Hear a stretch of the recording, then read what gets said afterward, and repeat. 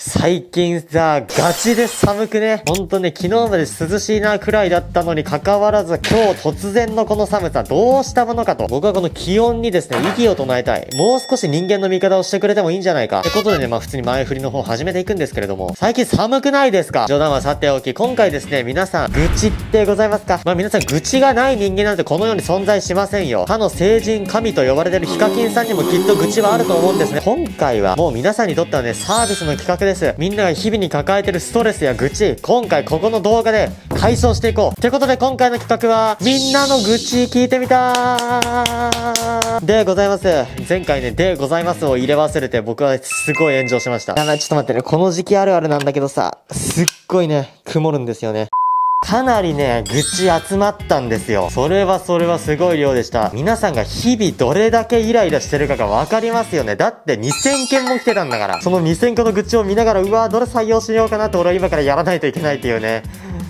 ふう、頑張るぞ。てな感じで今回ですね、こちらいつも通り Twitter の方で募集したんですけれども、僕、私 Twitter やってないから今回のネタ募集応募できなかったって方いると思います。そういう方々はですね、こちらの動画のコメント欄にたくさんの愚痴を書いていってください。もうイライラというイライラをも好きなだけぶつけて、今回に限るうちのコメント欄は違い保険だ。それを僕は後から見て楽しむのでぜひよろしくお願いいたします。そのついでに高評価とチャンネル登録もポチポチって押していただけると僕とても大喜びしますので、そちらの方もお忘れなくお願いいたします。危ね。いや、めっちゃ滑る。そんなね、あずかいくん、君に愚痴はあるのかという話ですよ。ありますとも愚痴。もうこれ話したら長くなるぞ。前振りだけで動画の尺めちゃくちゃ埋めるからね。あずかいの愚痴、もういわゆるこれですね。いろんな社会人の方々が抱えてるであろう税金、所得税とか住民税とかもう合計したら何百万っていう単位をね、国に払わなきゃいけない。何も悪いことしてないのに。やばくない？お金を稼いだだけで罰金払わないといけないんだよ。しかもさ、貯金がなさすぎて。払えそうにないっていう。だから俺はなんか来年多分ね、土下座しながら消費者金融からお金を借りましたっていう動画を上げると思う。何も悪いことしてないのに国にお金を払わないといけないから借金をしなきゃいけないっていうもう最悪の状況です、僕。担当直に言います。皆さん、お金をください。はい、冗談はさておきね、すっごいかわいそうな YouTuber あずかいなんですけれども、今後とも頑張って精進していくので、皆さん応援の方よろしくお願いいたします。では早速本編の方やっていきましょう今日ね、さっき目玉のやつ外しちゃったから、あの、あまりにも近づくと目がはっきり見えちゃいそうで、怖いので、こ、ここの距離をキープしてね、ソーシャルディスタンス、まあ、コロナ禍だから、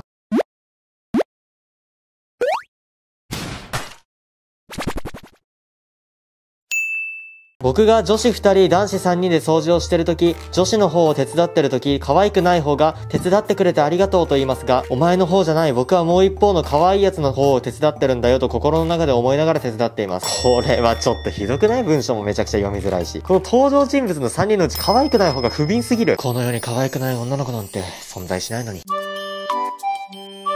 昨日までテストだったんですけど、とある教科の先生から必ず100点取れよって授業終わりにでもすれ違いざまでもどこでも言われることですかね。プレッシャーがすごいから本当にやめていただきたいですね。人として0点のお前の話なんて聞けるかってナイフ持ってぐさぐさぐさぐさ。友達がメンヘラすぎてだるい。別の友達に、え、ありがとう好きって言っただけで、は？うわ、そういうこと言うんだ、的な感じで言ってくる。みんなのこと好きなのに、うるせえな、お前が一番に決まってんだろってあこ食いしてチューよ。受験生真っ只中の私、私立単眼で受けようと思ってるのに、塾が併願にしようって言ってくる。理由は親が私立受けるなら特待は絶対取れって言ってるからだと思うけど、私立受けさせたい理社を勉強させたいっていう考えが丸見えで死にそう。受験において大人との意見の食い違いって絶対あるもんな。よほど無謀な挑戦じゃない限り子供の考えが一番だと思うから自分の意見貫き通していいと思う。私立って学費が馬鹿にならないから心配っていう親の気持ちもよーくわかるんだけどね。結局自分の子供を守るためにもお金は必要だから一回しっかり、あの、話し合った方がいいと思う。3人になると自分、友達2人みたいになるのやめてくれ頼むから。めっちゃいい解決方法があってね。小指に友達を宿すんだよ。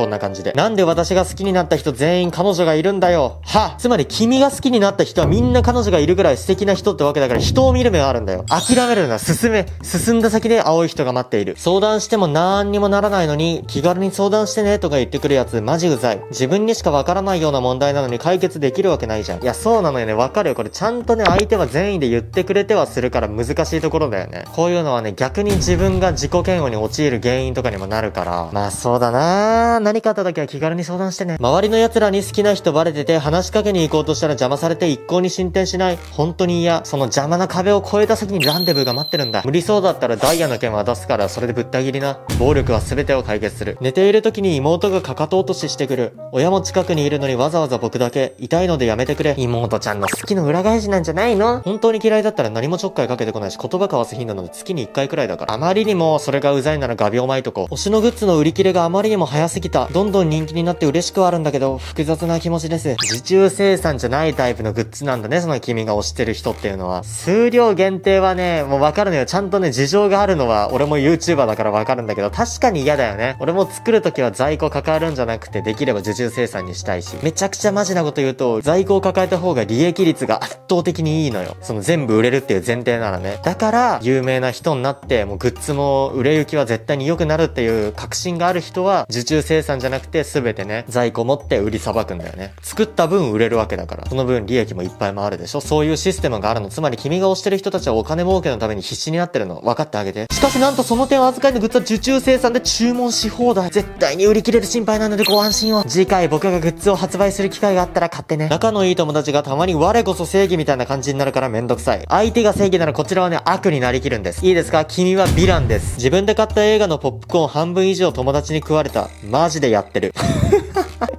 男子って感じの文章だよね。マジでやってる。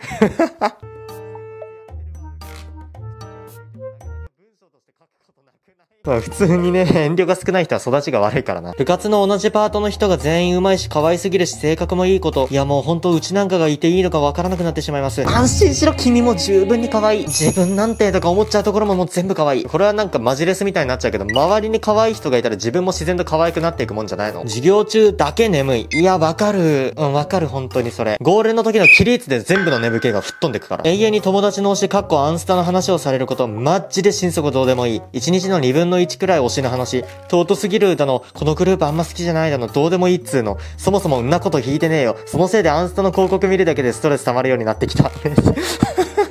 めちゃくちゃストレス溜まってるやん。マンスタ元いアンサンブルスターズがなんだかよくわからないけど、男性アイドル育成学校に女生徒たった一人が入学するっていう設定はいろんな女性を呼び込みそうでいいのよ。あと、それぞれのキャラクターの魅力も、夜遅くにゴキブリが出てきて毎回びっくりする。出てくるなら昼にしてくれ。昼夜問わずびっくりするだろ、ゴキブリは。両親へ、少し迷惑かけますが、夢を追わせてください。明日は念願の女子校に行ってきます。いつも通りの行ってらっしゃいで見送ってください。たとえ何年かかっても、家に絶対帰ってきます。愚痴の募集で夢への覚悟を語られても。あと何？女子校ってそんなに戦場なの？好きな人が5人いるクラスのあいつ。もうこの文章だけであいつがどんだけこの人にストレスを与えてるかがわかるよね。文才だな。差し詰め令和の芥川龍之介といったところか。あずかいさんがリプを選んでくれないこと、選んでくれたら何でもします。はい、採用したよ。採用したから何でもしてね。じゃまずは口座番号を教えるからそこに100万くらい振り込んでおいて。ついでに毎月30万は必ず振り込んでね。何でもするって言ったもんな。これで約束破ったら訴訟します。相手も引かれたんで絶対に言い返しません。本当に性格悪すぎてごめんなさい。普段はこんな子じゃないんです僕。もっと謙虚でいい子なんですよ。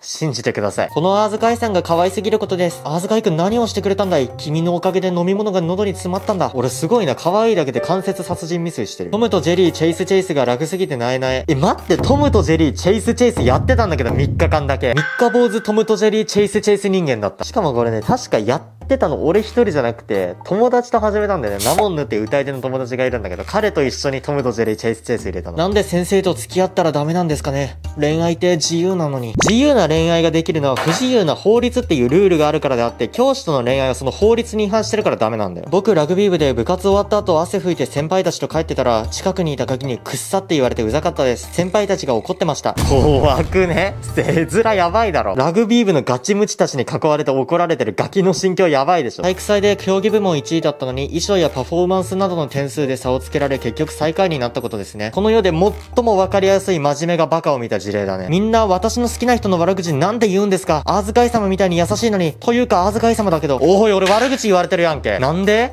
こんなに優しいのに。疲れた。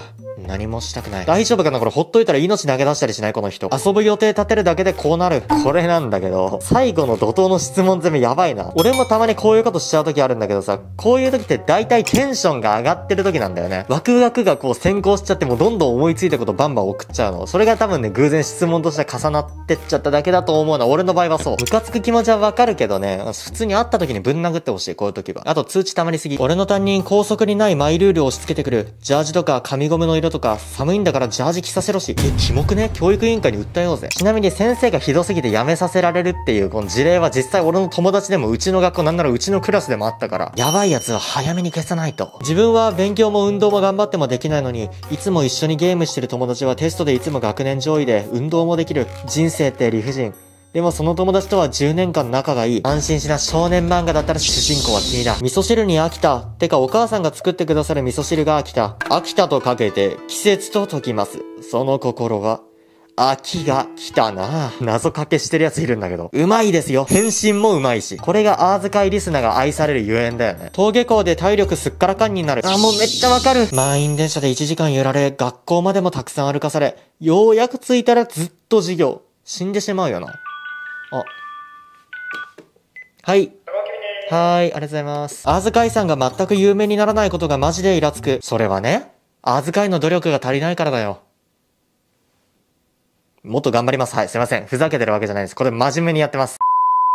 はい、そんな感じでいかがだったでしょうか今回の動画。いやー、今回ね、皆さんの愚痴募集したわけなんですけれども、やっぱね、溜まってるね、結構。今回ね、2000件あったうちの30件くらいしか採用できなかったんですけれども、いかがだったでしょうか次回こそは採用されたいという方々もたくさん応募していってください。そしてですね、Twitter やってないから応募できないよって方は、先ほども言いました通り、コメント欄に書いててくれると嬉しいのでお願いいたします。では今回ここら辺で動画の方締めさせていただきたいと思います。最後になりますが、高評価、チャンネル登録まだの方は、さっさとポシ、さ、さっさと押してとか言って、押して、動画を閉じていただけると嬉しいです。Twitter のフォロー、そして歌ってみたチャンネルのフォロー、サブチャンネルのフォローもぜひぜひお願いいたします。ではまた次回の動画でお会いいたしましょう。バイバーイ